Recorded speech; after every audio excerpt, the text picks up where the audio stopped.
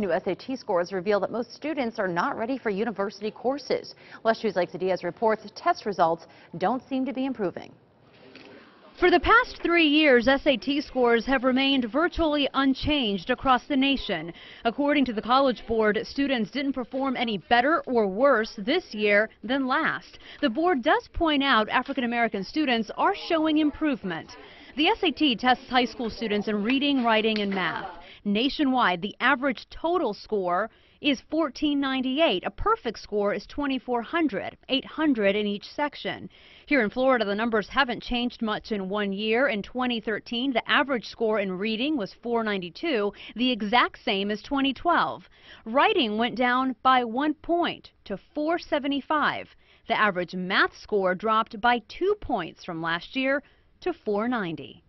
The College Board says only 43% of high school grads nationwide who took the SAT this year are prepared for the rigors of college-level coursework.